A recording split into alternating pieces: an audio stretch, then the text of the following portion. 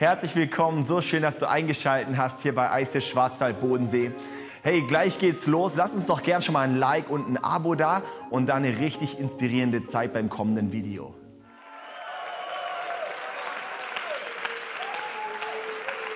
So, ihr Lieben. Schön. Dankeschön. Wir freuen uns sehr auf die nächste Session. Und äh, ich möchte gleich anfangen äh, mit den Singles im Raum, die vielleicht jetzt genervt sind von der Session oder sich denken, was hat das mit mir zu tun? Oder Paare, die hier drin sitzen und denken, naja, eigentlich ist es gerade nicht so mein Lieblingsthema, über meine Beziehung zu reden, weil es mich eher anstrengt. Oder die Paare, die sich einfach darauf freuen oder die frisch verliebt sind. Wer ist gerade verliebt im Raum? Wenn du verheiratet bist, sollst du dich melden, bitte, weil sonst gibt es nachher. Das Seelsorge-Team ist hinten für euch bereit, wenn dein Partner. Nochmal, wer ist verliebt im Raum? Nochmal kurz melden, ja. Ja. Wer ist verliebt und die andere weiß noch nichts davon? Nein, ist gut. Anderes Thema. Anderes Thema. Also, wenn wir über äh, Beziehung reden, ist uns ganz wichtig. Das hat, äh, wir reden heute Beispiele von der Ehe, aber äh, in Gottes Reich geht es darum, dass wir neu denken lernen, neu fühlen lernen und dass wir auf eine andere Art Dinge angehen. Deswegen ist es nicht so, dass es im Reich Gottes zwei Klassen gibt. Es gibt die Singles und es gibt die Paare. Die Singles, die müssen halt noch ganz viel lernen dass sie mal ganz irgendwann mal beziehungsfähig sind. Und irgendwann haben sie einen Partner und dann wird alles toll. Das hat nicht die Bibel erfunden, das hat Hollywood erfunden. Ganz im Gegenteil. Jemand, der gesund sein Single lebt, von dem kann jemand, der verheiratet ist, mindestens so viel lernen, wie jemand, der gesund verheiratet ist, äh, ein Single von jemandem, der gesund verheiratet ist. Deswegen ist ganz wichtig, zum Beispiel nur weil du verheiratet bist, heißt es nicht, dass du zum Beispiel alleine mit Gott richtig gut Zeit verbringen kannst. Nur weil du Single bist, heißt es auch nicht, dass du es kannst, wenn wir ehrlich sind. Wir können davor weglaufen. Deswegen alles, was wir heute sagen, sind nicht Themen, wenn du heute Single bist, sagst, ja, die will ich alle anwenden, die will ich alle tun, damit ich mal einen Partner kriege. Nein, das Ziel des Lebens, der Sinn des Lebens ist nicht einen Partner zu finden, sondern Jesus ähnlicher zu werden. Partnerschaft und Beziehung sind eines der wichtigsten Katalysatoren in unserem Leben, um Jesus ähnlicher zu werden. Der schnellste Weg, Jesus ähnlicher zu werden, ist, wenn du dich auf Beziehungen einlässt, auf Freundschaften, auf Small Groups, auf Teams und eben auch auf eine Beziehung oder auch eine Ehe. Und es ist so, dass dahinter immer steht, ich will Jesus ähnlicher werden. Und das Grundproblem in unserem Land ist, dass wir schon etwas Hollywood verseucht sind. Wir denken, ich finde irgendwann einen Partner, dann gehe ich noch vor den Traualtar, mache ja mit Gottes Hilfe, sage ich zwar, aber wenn wir eine Umfrage machen würden, die ganz, ganz ehrlich wäre im deutschen Christentum, was heißt Gottes Hilfe in deiner Sexualität?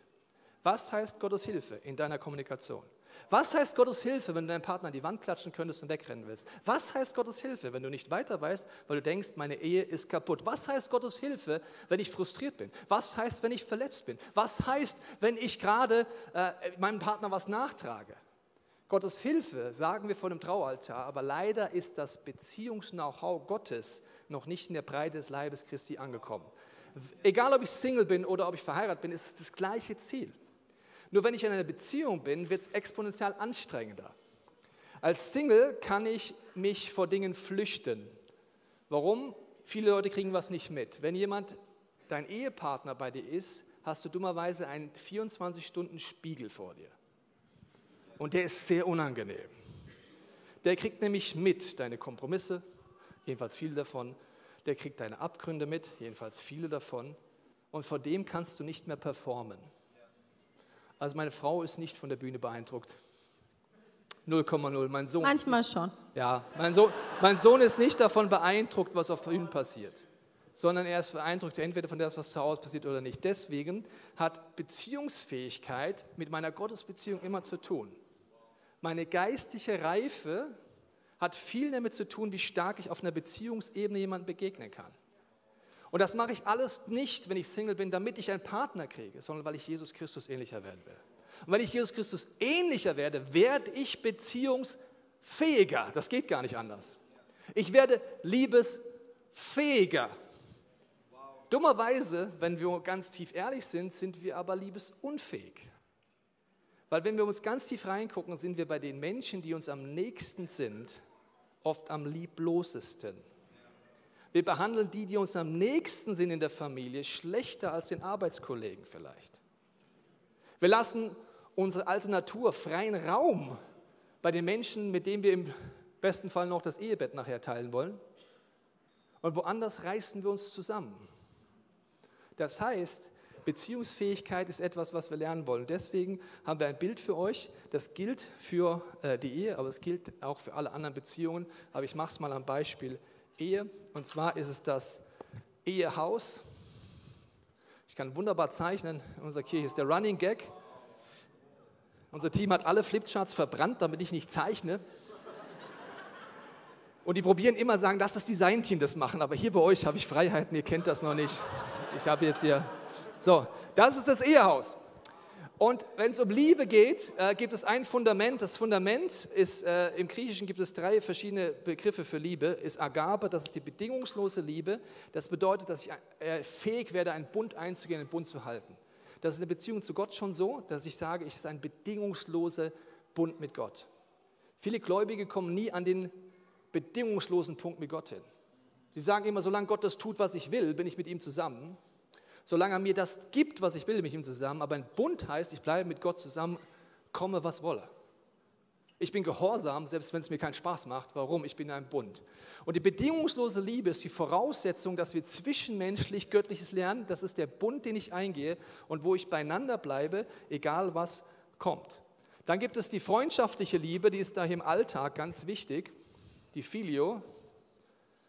Das ist das, was ich als Paar, als Freunde, wo ich Zeit brauche, wo ich investieren muss, werde ich gleich erklären, dass wir die freundschaftliche Liebe haben. Und dann gibt es im Ehe, äh, in der Ehebeziehung noch die Eros-Liebe. Ja, wir sollten auch spitz aufeinander sein, ganz wichtig. Ja. Das ist ganz wichtig. Hier oben habe ich es mal eingezeichnet, damit man das auch versteht. David versteht mich jetzt wieder, jetzt ist er wieder wach. Bei Spitz bist du wieder dabei, sehr gut. Okay. So, und jetzt ist bei diesem Ehehaus folgendermaßen, Epheser 5 sagt, die Ehe ist ein Geheimnis. Okay, es ist ein Geheimnis, wo wir Gottes Hilfe brauchen, sie zu verstehen. Ein Geheimnis, wo wir das Wort Gottes aufschlagen müssen und verstehen, wie können sich Mann und Frau begegnen. Warum hat Gott so unterschiedlich geschaffen? Weil unterbewusst suchen wir immer jemanden, der so ähnlich ist wie wir. Und dann kriegen wir dummerweise einen Partner und der ist ganz anders als wir. Ich letztens hatten wir ein Paar bei uns auf der Couch, da hat der Mann sich immer über die Frau aufgeregt, weil sie so wenig strukturiert ist und hat lauter Sachen aufgezählt. Und irgendwann habe ich ihn unterbrochen habe gesagt, darf ich dir ein kurzes Feedback geben? Du suchst einfach nach einer Frau, die aussieht wie du, nur mit Brüsten. Weil alles, was dir gerade wichtig ist, ist deine Persönlichkeit. Deine Frau ist schönerweise ganz anders. All deine Stärken hat sie nicht. Dafür hat sie lauter Stärken, die du nicht hast. Deswegen ist wichtig, sich zu begegnen, ist ein Geheimnis. Und in Sprüche heißt es, dass wer so ein Haus baut, braucht Weisheit, Verständnis und Einsicht. Das sind drei Sachen, die Sprüche heißt. Ich brauche Weisheit, Verständnis und Einsicht. Also Weisheit, Verständnis und Einsicht. Jetzt wisst ihr auch, warum ich nicht schreiben und malen darf, und man kann es auch nicht lesen. Schön ist, ich sage immer bei meiner Schriftart, ich lasse dem Heiligen Geist Raum, dass du interpretieren kannst, was du möchtest. Ich gebe dem Heiligen Geist halt Raum sogar in meinen Zeichnungen.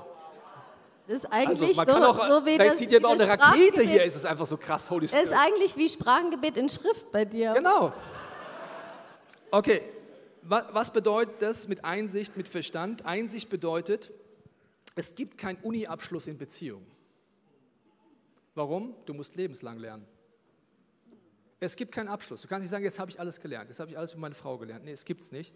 Es bleibt lebenslang. So ein Freund von mir hat mal gesagt, wenn du mit deiner wenn du Frau verstehen willst, ist es wie Hebräisch lernen.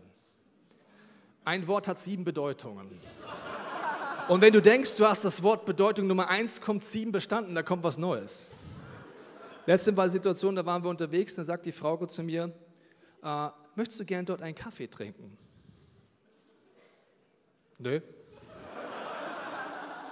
Sind wir weitergefahren. Was sie eigentlich meinte ist, sie wollte dort einen Kaffee trinken und sie hätte es schön gefunden, wenn ich auf die Idee gekommen wäre, dass sie dort einen Kaffee trinken wollte und ich sie hätte eingeladen dorthin, was sie hätte wollte, können, würde. So. Also, ich, ich lerne immer noch. Wir brauchen den Verstand, wir brauchen das Wort Gottes. Das Wort Gottes ist voller Beziehungstipps. Die meisten lesen sie nur nicht auf Ehe und Freundschaften. Eine achte den anderen höher als sich selbst. Eines der wichtigsten Grundlagen für eine Ehe. Aber auch für eine Freundschaft. Wer demütig ist, geht den ersten Schritt, lässt die Sonne nicht untergehen über den Streit. Das gilt für die Ehe, das gilt aber auch für deine Freundschaft und so weiter. Okay, und es braucht Weisheit, wann ich was einsetze. Und deswegen ist wichtig, dass wir eine Einstellung haben in unseren Freundschaften, in unseren Small Groups, in unseren Teams, in unserer Gottesbeziehung und in unseren Ehen, dass wir investieren in diese Beziehung und nicht denken, es läuft einfach so. Weil ich mein Lebenshaus nichts investiere, stell dir vor, du wirst in deiner Wohnung nichts mehr investieren. Die wird verstauben, die wird hässlich, die wird verrotten, die wird einfach runtergehen. Nur weil du nichts machst. Viele Paare machen einfach nichts und wundern sich, dass die Ehe scheiße wird. Viele Freundschaften verabreden sich nicht mehr als Freundin oder Freund und wundern sich, dass wir uns nicht mehr so nah sind. Ich kann das Minimum tun, einfach so ein bisschen saugen. Oder ich sage, ich will, dass ich mich wohlfühle, ich investiere in mein Ehehaus, in mein Lebenshaus, in mein Freundschaftshaus. Und Frauke, du hast Beispiele dabei, was heißen kann, zu investieren.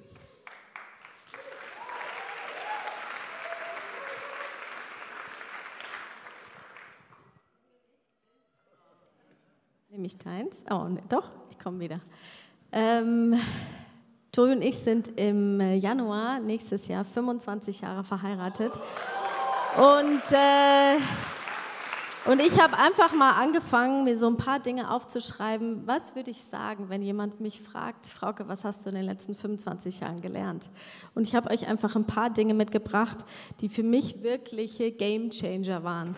Wir haben uns am Anfang unserer Ehe oft gestritten und sehr emotional auch. Ich habe die Türen geknallt und gesagt, ich bin weg. Und dann war ich draußen weg, habe mir gedacht, scheiße, was mache ich jetzt?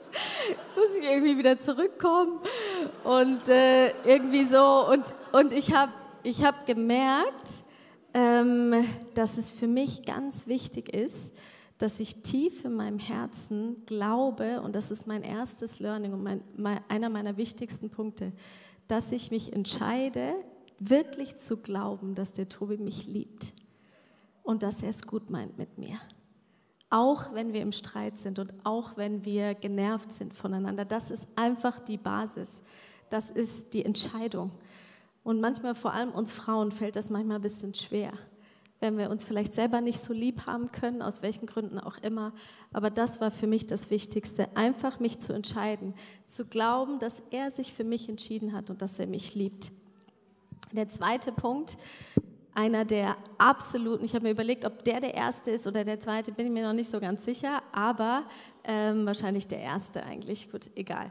Also wichtig ist, was wir bei der Hochzeit versprechen. Dieses eine Wort ja mit Gottes Hilfe. Der Tobi hat es vorhin schon gesagt. Ich weiß nicht, wie du Gottes Hilfe in deinem Leben anwendest.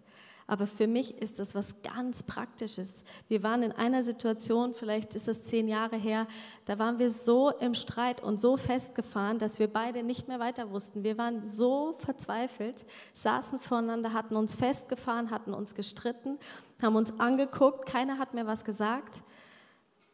Und wir haben gedacht, jetzt kann man einfach gehen, wir haben keine Hoffnung mehr, wir hatten uns in irgendwas verrannt.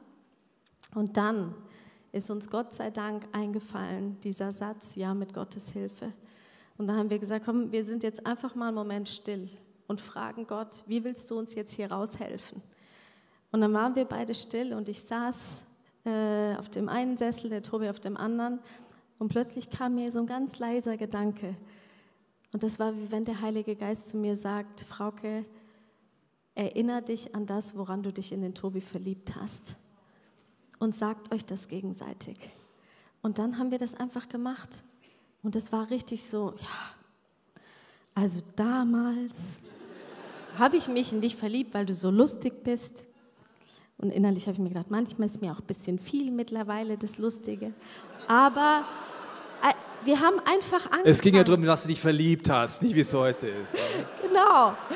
Und, und so haben wir uns gegenseitig wie so Ping-Pong einfach das erzählt. Ich habe mich in dich verliebt deswegen, ich habe mich in dich verliebt deswegen.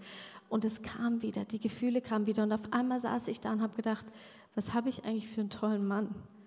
Und, und, und so hat sich das entwickelt. Ich glaube, das ist ganz wichtig. Ja, mit Gottes Hilfe, dass einer von euch sich daran erinnert in diesen Momenten.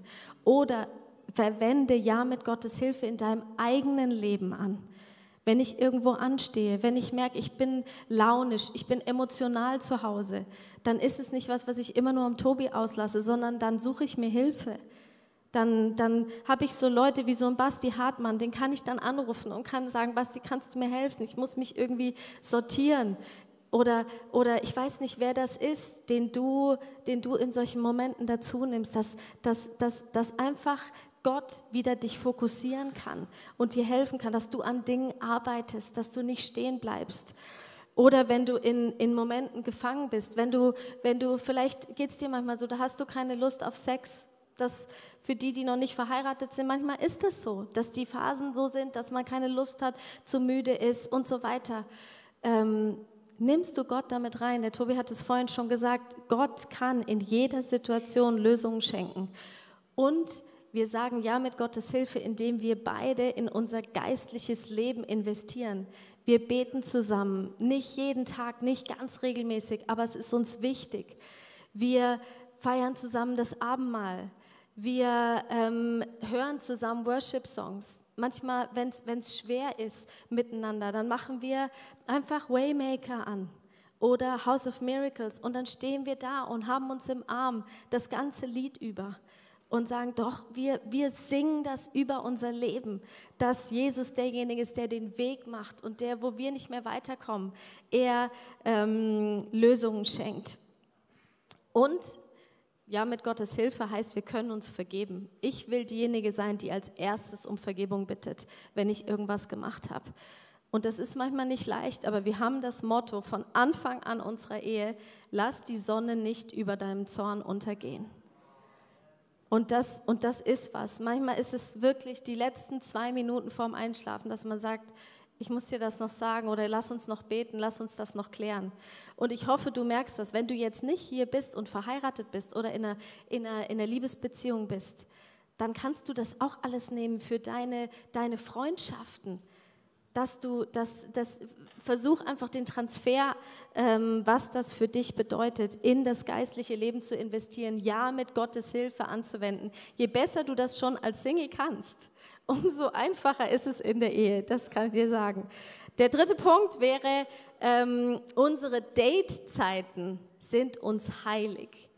Wir haben seit 25 Jahren jede Woche mindestens ein Date. Und äh, das haben wir seit unser Sohn im Kindergarten war, vormittags, äh, einmal in der Woche, weil wir dann einen Babysitter schon hatten mit dem Kindergarten. Ähm, oder abends, es ist egal. Aber wir, wir lassen, wir, nichts, was kommt, kann dieses Date stören. Und äh, wir sind abwechselnd zuständig. Eine Woche bin ich zuständig, nächste Woche ist der Tobi zuständig. Und so wechseln wir uns immer wieder ab. Und in den Zeiten schauen wir, dass unsere körperliche, seelische und, äh, und äh, geistliche Liebe wächst. Für alles ist Zeit. Und, und wenn du denkst, das passiert von alleine, dann muss ich dich hier enttäuschen. Du musst investieren. Ihr habt so ein wunderbares Motto, ähm, dass das, das, wie heißt nicht, keep the fire burning, Never lose my fire. Weißt du, wie du das Feuer nicht verlierst in der Ehe? Wenn das Feuer an ist, indem du Holz nachlegst. Und, äh, und das kann unterschiedliches bedeuten. Wir unternehmen was, wir nehmen uns Zeit. Und äh, gestern haben wir so eine, so eine Übung gemacht für unser Herz. Da war der Tobi zuständig gestern Morgen. Und es ist einfach, es, es, es, lohnt sich, da zu investieren. Und am Anfang habe ich oft gedacht, oh, ich bin so müde, ich habe jetzt keine, keine Kraft, keine Lust. Aber ich wusste, wenn ich mich mit einer Freundin verabredet hätte, hätte ich nur schnell einen Espresso getrunken, damit ich dann fit bin, wenn ich mich mit ihr treffe. Warum nicht mit meinem Mann? Warum muss ich mit meinem Mann in, in der Jogginghose äh, auf, der, auf der Couch rumflacken und denken, gut, jetzt treffen wir uns halt, weil wir sowieso irgendwie jeden Tag zusammen sind? Nein, ein Date heißt, es ist mir wichtig, dass ich investiere und dass ich das Beste gebe. Der Tobi hat eine Zeit lang, wenn wir vor unserem Date, als wir noch abends uns äh, verabredet hatten, ähm, kam er von der Arbeit so gestresst nach Hause und, äh, und dann hat er gesagt, bevor er sich mit mir trifft, geht er noch ins Fitnessstudio, powert sich aus und ist dann fresh, wenn er nach Hause kommt und lässt einfach die Dinge hinter sich. Gut, also ich könnte noch alle möglichen Dinge sagen. Habt Spaß miteinander, genießt das Leben, das ist ganz wichtig. Aber einfach jetzt der Zeit wegen meiner letzten zwei Punkte. Ich habe mich entschieden, dass wir gemeinsam alt werden. Und ich hatte, ich, ich könnte euch noch ein Bild zeigen, hatte der Tobi auch noch viele Haare. Und irgendwann gehen die aus. Aber ich danke dem Tobi, dass er, dass er auf meinen verschrumpelten Bauch guckt, der nicht mehr so knackig und glatt ist wie früher, da aber unser Sohn drin war und er mit mir alt wird. Und wir, wir uns äh, nicht aufhören, uns ähm, mit den Augen zu sehen, die tiefer gehen als vielleicht die äußere Hülle. Und mein letzter Punkt ist ein ganz kurzer Punkt, aber ein, eine wichtigste Entscheidung, glaube ich, die, ich treff, die du treffen kannst in deiner Ehe. Ich habe mich für den Tobi entschieden, für den Rest meines Lebens und dabei bleibt es. So viel mal von mir.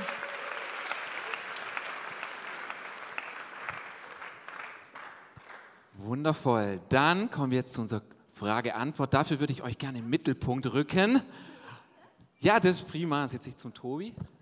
Und boah, ist schon so viel einfach dabei, wenn man mitgeschrieben hat. Boah, da kann man echt mal schon ein halbes Jahr üben. Richtig gut. Und wir lieben das auch so sehr, wie echt ihr seid und das Authentische, aber auch das Relevante, dass man keine Ihr gebt einfach keine Antworten auf Fragen, die eh keiner stellt, sondern es sind Dinge, die uns alle beschäftigen. Und wir würden hier mal gerne starten mit einer Frage und zwar, wie geht ihr mit Unterschieden um? Und besonders gab es da mal ein Vorher und ein Nachher, so eine Zeit, wo der eine den anderen anpassen wollte. Und was war das dann für ein Moment, wo das plötzlich anders wurde und man Ergänzung gefeiert hat? Also wir sind, so, sind seelenverwandt, wir sind so ähnlich, wir haben eigentlich gar keine Unterschiede. Wir verstehen, nein, das ist Hollywood-Schwachsinn, Seelenverwandtschaft. Warum? Du, du, hast Hormone, du verliebst dich, das ist der Klassiker, deine Freundin erzählt dir, wir sind uns so ähnlich, ich habe den perfekten Partner gefunden. Dann redest du mit dir ein halbes Jahr später, sagt er, wir sind so unterschiedlich, ich weiß gar nicht, wie ich auf die Idee kam, mich in den zu verlieben. So. Es ist Gottes Gnade, Hormone, die machen dich bescheuert, und ein bisschen bekifft, dass du ernsthaft denkst, ihr seid ähnlich. Dann geht ihr in eine Beziehung und merkst, ach du liebes Lieschen, wir sind überhaupt nicht ähnlich. Ja? Und das ist vollkommen normal. Und jetzt gibt es die wichtige Rolle, dass, du auf, dass es gibt einen Schöpfer, das ist der Töpfer und du bist Ton. Und du bist Geschöpf und nicht Töpfer. Aber was die meisten Paare haben, die töpfern aneinander rum. Die wollen den anderen ummodulieren, obwohl Gott ihn auf eine Art geschaffen hat. Ich meine damit nicht Feedback, das ist wichtig. Ich meine die Persönlichkeit. Gott hat sie den anderen als Persönlichkeit, als Geschenk für dich gemacht, als Ergänzung, aber wir sind die Gefahr, den anderen verändern zu wollen. Und das ist ständig so. Das sind Dinge, wo, wo du Mangel hast in der Beziehung. Jeder hat irgendwo Mangel. Also die Frauke zum Beispiel, Thema in den ersten Jahren Kavalier zum Beispiel. Ja, hast du mir so erzählt, in der Arbeit gibt es ja so einen, den Kollegen, der hält ja immer die Tür auf. Und der bestellt auch immer beim Essen für alle. Da habe ich gedacht, ja, schön für ihn. ja. Aber er hat, Tobi hat es dann probiert. Mhm. Aber, aber ich, das ist wie wenn du laufen lernst. Ja? Das sieht nicht äh, äh, anatomisch schön aus. Das heißt, wenn es was ist, was ich vorher schon gut gekonnt hätte, ja, und das ist bei Paaren oft das Problem, du hast ja den Anspruch, dass der andere es gleich perfekt kann, wahrscheinlich, weil meine Frau ist so aufmerksam, die ist wie, hat diese Fähigkeit, die sieht alles, die sieht Details, die weiß es gefühlt vorher, bevor ich es weiß. So, und jetzt, wenn ich mir jetzt Mühe gebe, das zu sprechen, dann lerne ich laufen und dann bin ich so stacksig wie ein kleines Kind. Wenn ich jetzt den Anspruch an anderen hat, er soll es gleich perfekt machen, ist schwierig. Das heißt, es reicht aus, dass ich mich bemühe. Es hört sich blöd an. Ich war mal Lehrer, da stand, er, er hat sich bemüht. Das heißt, ich bemühe mich jetzt, Gentleman zu werden, aber ich werde nicht so werden. Ich werde kleine Schritte gehen, aber das ist mein Liebesdienst. Was willst du sagen? Also was mir total geholfen hat, ist mal, äh, wenn, du, wenn du die ersten Seiten in der Bibel liest und da kommt dann dieser schöne Moment, wo Gott äh, aus dem Adam die Eva macht und sagt, ich werde dir eine Gehilfin schaffen, die zu dir passt. Und dann habe ich mich immer gefragt, was heißt eigentlich dieses Wort Gehilfin? Und äh, im Hebräischen, im Urtext, kann dieses Wort Gehilfin auch übersetzt werden mit Kontrast. Und das hat mir so geholfen, dass Gott uns so gemacht hat, dass wir, dass wir perfekt zusammenpassen, eigentlich, wenn wir es schaffen, ein Team zu sein und wenn wir die Unterschiede umarmen und wenn nicht ich ähm, versuche, so sein zu müssen wie der Tobi, du bist so strategisch und so schlau. Ich habe zum Beispiel gesagt, ich habe keine Idee für, für den Input jetzt äh, vorhin und dann hat Tobi gesagt, gut, ich mache ihn alleine und wenn dir noch eine Idee kommt, dann machst du noch was. Ich darf einfach so sein. Ich die Idee kam halt auf dem Weg hierher, ich kenne ja meine Frau. Ich kam dann vom heute Morgen der Session. Das heißt, ich habe schon Zeit eingeplant, weil ich wusste, sie hat dann schon noch Ideen. Ne? Aber so ist Ergänzung, ja. So stark von euch zu hören, wirklich. Ähm, eine Frage, die wurde hier ganz hoch gerankt, auch wie streitet man richtig? Und mir ist einfach auch so ein Zitat aus eurem Buch eingefallen, wo es heißt, äh, wie man lacht, wenn es kracht. Und das würde mich voll mal interessieren. Wie macht ihr das? Also das ist zum Beispiel jetzt auch so eine Ergänzung. Meistens fängt der Tobi an zu antworten, weil ich währenddessen dann noch Zeit habe zu überlegen. Ich mache Warm-up und du schießt die Tore, ja genau. Also, also wie streitet man richtig? Ich würde sagen, wir wollen ja Jesus ähnlicher werden.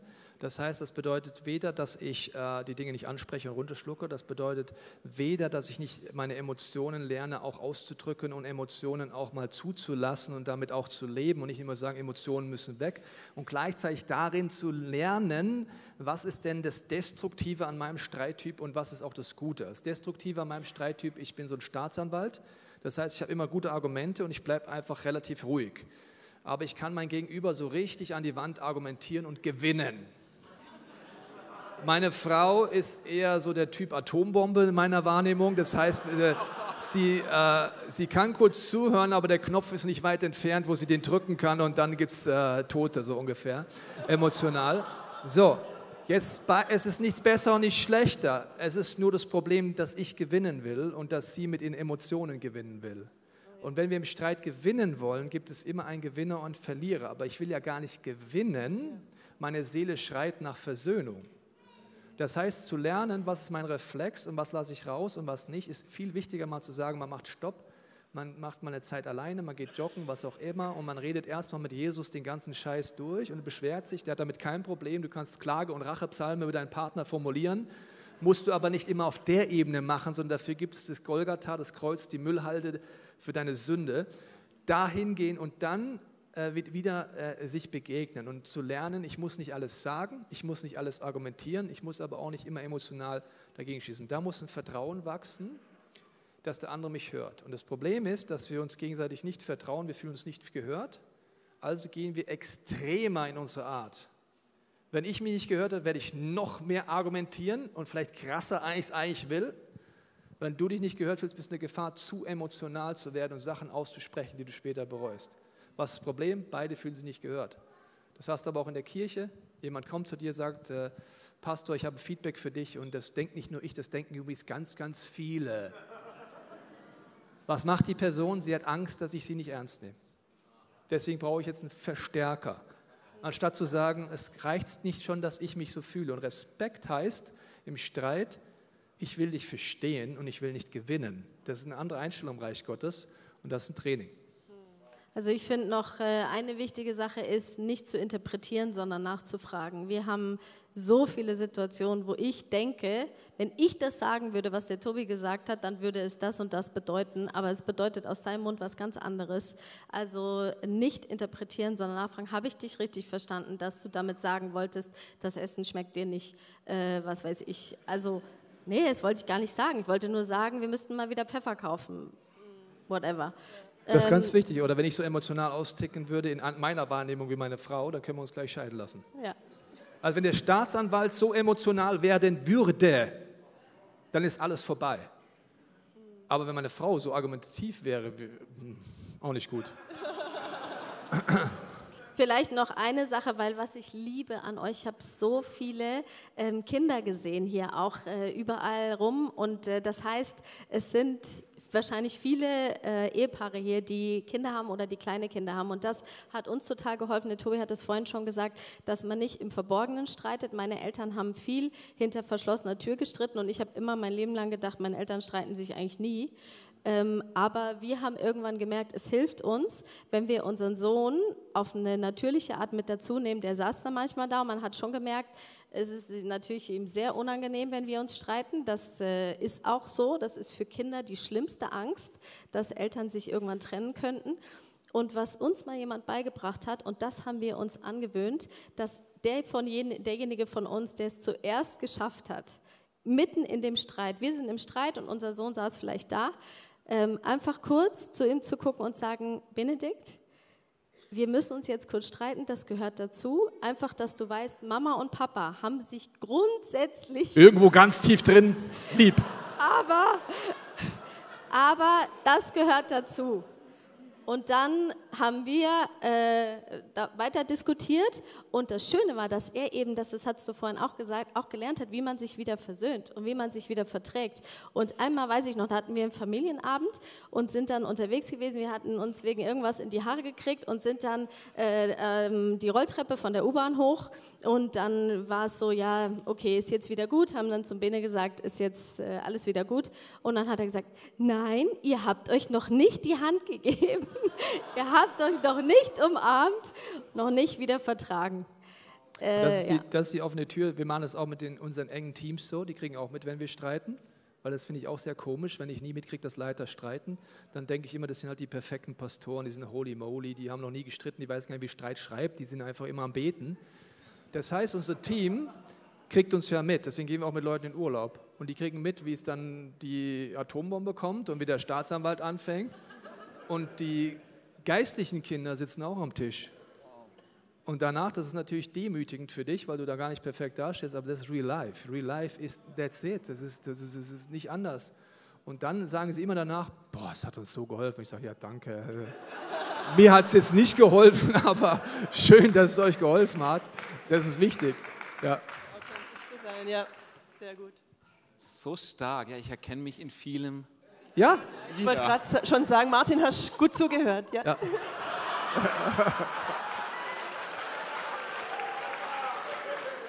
Aber ich konnte keine Notizen machen. Ach so, schade. Ja. Äh, David schickt dir seine. Ja. Wir haben hier eine weitere Frage, die sehr ähm, beliebt war, und zwar, wie bereite ich mich als Single am besten auf die Ehe vor?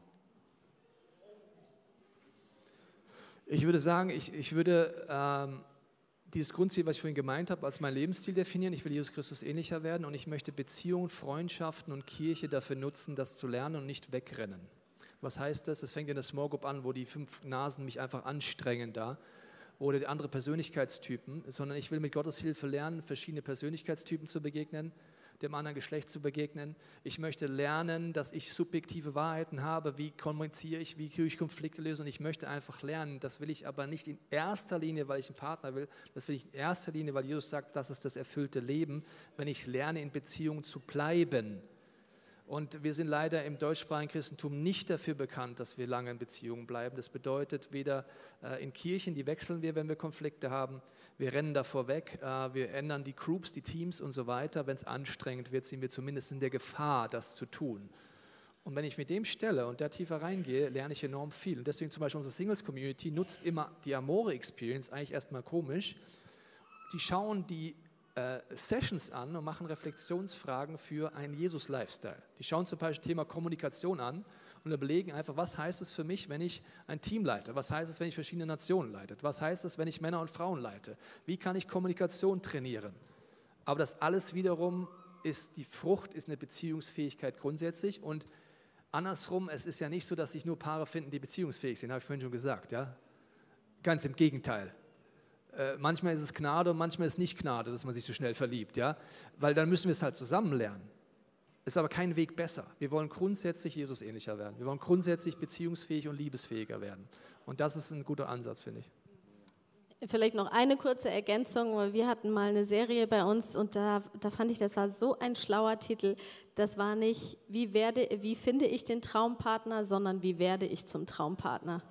Dir einfach zu überlegen, was, was, was ist einfach was, wie ich in mich investieren kann, dass ich äh, die drei wichtigsten Ziele des Lebens umsetze, nämlich Gott lieben, mich selbst lieben und den anderen lieben. Und das, äh, und das gilt jetzt wieder, wenn du verheiratet bist. Gleiche Challenge, gell? Weil ehrlich, wir sind keine Traumpartner, oder? Ich meine, ich will jetzt hier keinem zu nahe treten. Wir sind keine Traumpartner, ganz im Gegenteil. Aus uns kommen Dinge raus, auf die wir fast erschrecken, wenn wir uns nahe kommen. Aber mit Gottes Hilfe will ich immer mehr, obwohl ich schon verheiratet bin, zum Traumpartner werden. Das ist Jesus ähnlicher werden und nicht sich gehen lassen und sagen, ja, jetzt habe ich halt jemanden auf meiner Sofa hocken mit Jogginganzug, reicht doch so. Ja. So gut, wie bereite ich mich auf die Ehe vor? Ja. Eine Frage, die vielleicht ganz gut in Anschluss hier reinpasst. Ich, mir ist aufgefallen, drei Fragen gehen in die gleiche Richtung. Was tue ich, wenn ich mich in einen Partner, in einen Menschen verliebe, der noch nicht Christ ist? Oder eine Frage war, wie bringe ich meinen Partner zum Glauben, einen lebendigen Glauben zu, zu Christus? Und was würdet ihr darauf antworten? Genau. Also wenn ich schon in einer Beziehung bin mit einem nichtgläubigen Partner oder ihn kennenlerne, kriege ich relativ schnell ein Feedback über meinen Lifestyle. Lass uns mal über was ganz Tiefes reden, was jetzt ein bisschen unangenehm ist. Das heißt, wenn ich dir begegne in deinem Alltag, begegne ich da Jesus oder begegne ich Kompromissen? Begegne ich dem Licht und dem Salz oder begegne ich was anderem? Jesus sagt, wir sind Salz. Das bedeutet, wenn jemand mit uns in Begegnung kommt, sollte er danach Durst nach Gott haben. So, wenn ich jetzt aber einen Kompromiss-Lifestyle gerade lebe und denke, dass Beziehung mich erfüllt und ich deswegen in einer Beziehung bin und ständig Kompromisse mache, wird mein Partner das einfach nur spiegeln. Deswegen kann ich dir jetzt gar nicht so genau sagen, was in deinem speziellen Fall ist, sondern es ist einfach ein Feedback. Nicht dich anzuklagen, gar nicht zu sagen, Jesus, krass, ich bin in einer Liebesbeziehung und offensichtlich färbst du nicht ab. Wie geht das? Du bist in mir, wo lebe ich in Kompromissen? Warum? Eine junge Frau, die mich sehr inspiriert, die ist äh, als Teenager zusammengekommen mit ihrem Freund, der war Atheist. Und dann hat er gesagt, ja, ich finde alles gut an dir, bis auf Jesus, diesen Jesus-Schnickschnack. Dann hat sie gesagt, hör mal zu, gut, Junge, Junge, hör mal kurz zu. Also das, was du faszinierend an mir ist, ist Jesus Christus, der lebt in mir. Du kannst mich nicht leben ohne Jesus. Deswegen solltest du dringend diese Beziehung nutzen, um ihn kennenzulernen, weil du kannst mich nicht haben ohne Jesus. Das war eine sehr äh, selbstbewusste junge Frau aber das ist theoretisch das, was Gott durch dich machen möchte. So, wenn du da nicht bist, dann streck dich danach aus. Streck dich danach aus, mit Gott zu leben. Und das ist nicht das Single und Paar, das ist genauso, ich wünsche mir das ja in meinem Arbeitsumfeld, in, meiner, in meinem Gym, ich wünsche mir, dass das so ist. Das ist aber nicht immer so. Was mir auch total hilft, ist, dass Gott uns ja nicht als Einzelkämpfer Christen geschaffen hat, sondern in Gemeinschaft und sagt das so, wo zwei oder drei zusammen sind in meinem Namen, da bin ich mitten unter ihnen und ich liebe das. Deswegen auch treffe ich mich ja zwei, äh, alle zwei Wochen mit der Sarah und noch mit jemandem ganz früh morgens um sechs zum Beten, weil mir das hilft, dass wir nicht alleine sind. Und wenn, wenn, wenn du jetzt eine Frau bist oder ein Mann und in jemanden verliebt bist, der oder die Jesus noch nicht kennt oder dein Ehepartner ist, dann tut euch zusammen im Gebet. Vielleicht hast du noch eine andere Freundin oder, oder ihr, ihr trefft euch in der Church, betet dafür, dass ihr jemanden ähm, findet, mit dem ihr zusammen einstehen könnt dafür. Das lohnt sich so sehr, wenn man dann, also ich, ich, ich kann euch Geschichten über Geschichten erzählen, wie bei uns in der Church, wirklich man gesehen hat, wie Gott an Menschen wirkt, für die gebetet wird. Unterschätzt nicht die Kraft von Gebet.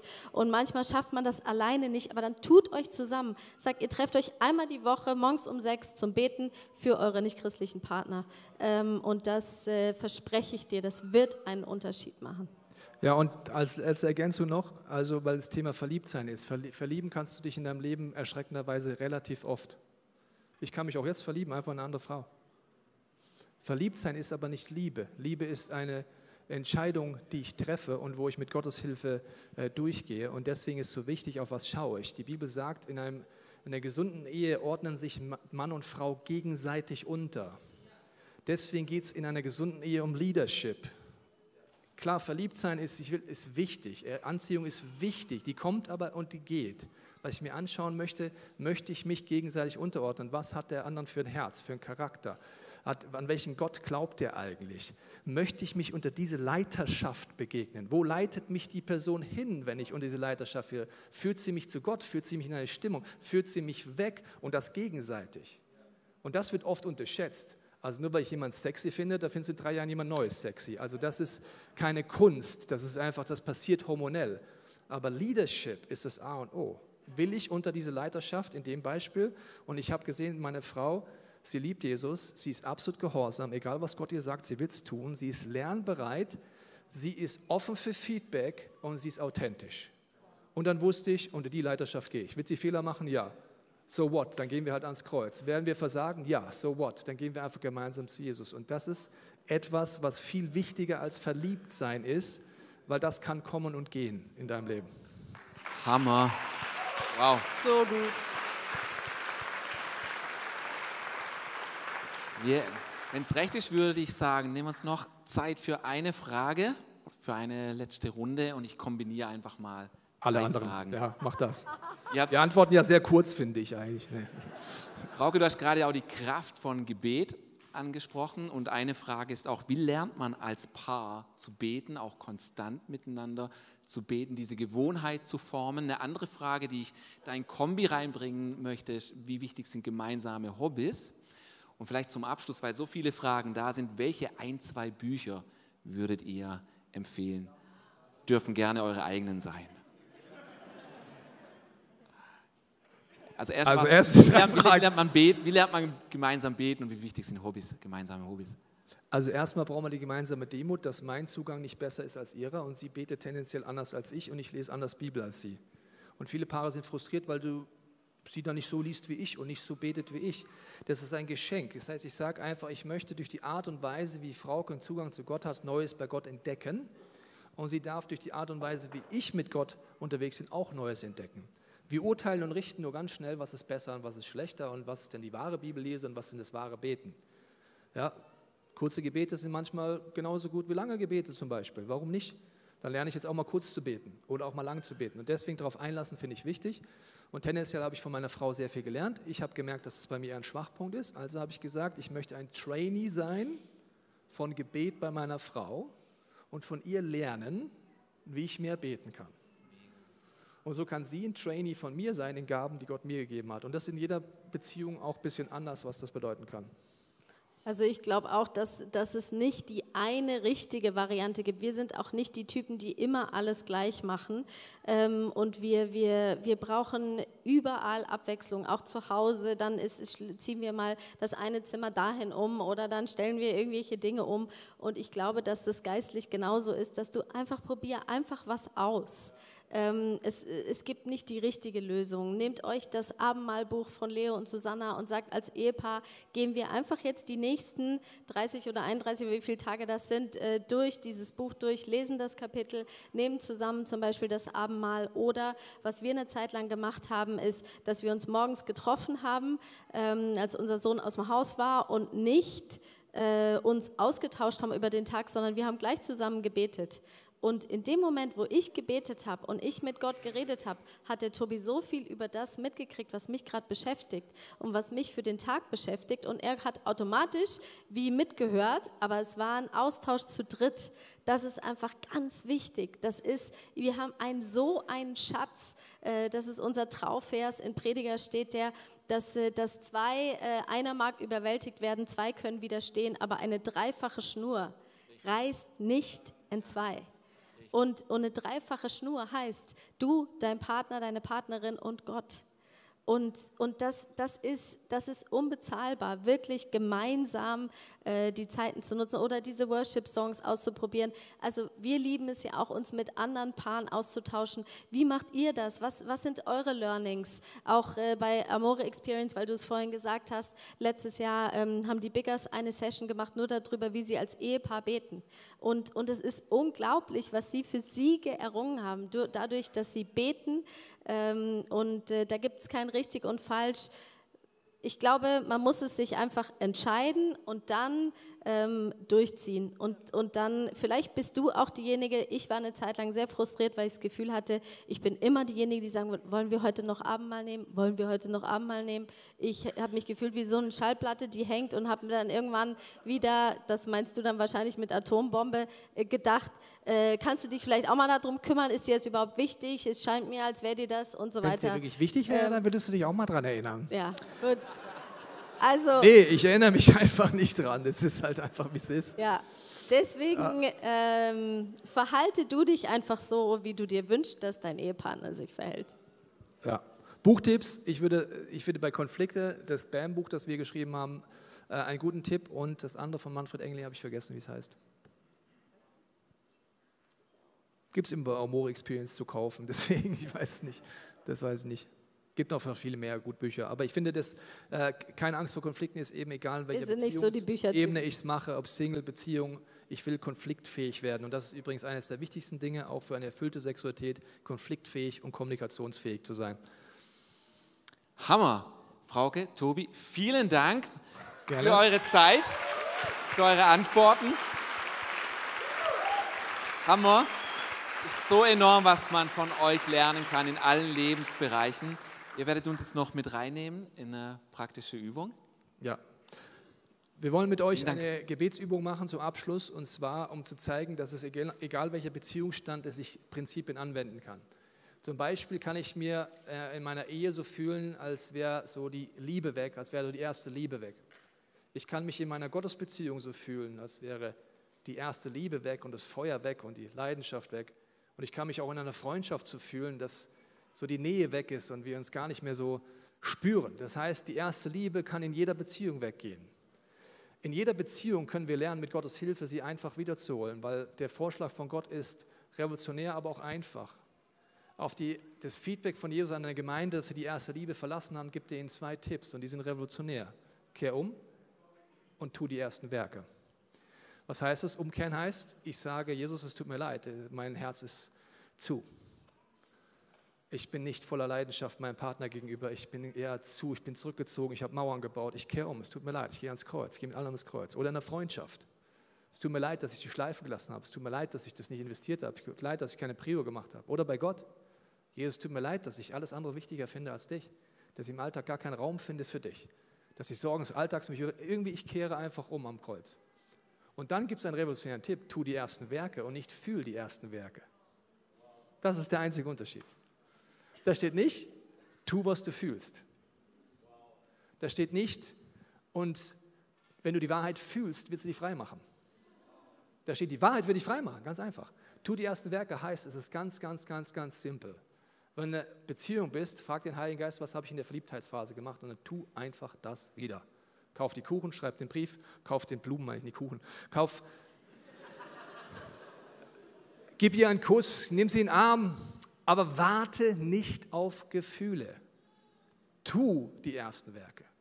Wenn der Heilige Geist eine Freundschaft wieder markiert, investier einfach und nicht, weil du Bock hast, sondern weil du sagst, ich kehre um und ich tue es. Bei Jesus, ich kehre um und ich mache es einfach wieder. Ich entscheide mich, morgen die Bibel aufzuschlagen. Ich fühle mich gar nicht so. Ich schlage einfach die Bibel auf und lese sie. Und Gefühle kommen immer wieder. Verliebt sein ist mit Gottes Hilfe keine Kunst. Das Einzige, was wir tun müssen, umkehren und die ersten Werke tun. Deswegen will ich jetzt beten, dass der Heilige Geist dir das entweder auf deine Beziehung zeigt oder auf die Gottesbeziehung. Er wird es entscheiden, was für dich wichtig ist, oder auf eine Freundschaft. Okay? Und dann wollen wir darauf reagieren. Heiliger Geist, ich danke, dass du uns eine Stille uns zeigst, in welchen Beziehungen wir die erste Liebe verlassen haben. Dass du uns zeigst, wo es mit dir so ist oder unserem Partner oder Freunden oder der Church oder dem Team oder der Small Group. Führ du uns jetzt an eine Situation hin, die du uns zeigen möchtest. Das Video ist vorbei. Wir hoffen, es hat dich inspiriert und weitergebracht. Lass doch gerne ein Like und ein Abo da und aktiviere die Glocke, so wirst du nichts mehr verpassen. Uns würde es so riesig freuen, dich auch persönlich kennenzulernen. Darum komm doch mal sonntags in einem von unseren Standorten vorbei und besuch eine Celebration. Wenn du uns finanziell unterstützen möchtest, findest du hier den QR-Code, wo du sehr gerne was geben kannst. Wenn du heute dein Leben Jesus gegeben hast, dann würde es uns so freuen, wenn wir das mit dir feiern können. Darum tragt es gerne unten im Kontaktformular in der Videobeschreibung ein und so werden wir uns bei dir melden und dir auch noch ein Geschenk zukommen lassen. Stöber doch gerne noch weiter durch unsere Mediathek. Wir haben so viele tolle und inspirierende Videos und uns freut es, dich dann demnächst wieder dabei zu haben. Ciao und bis zum nächsten Mal.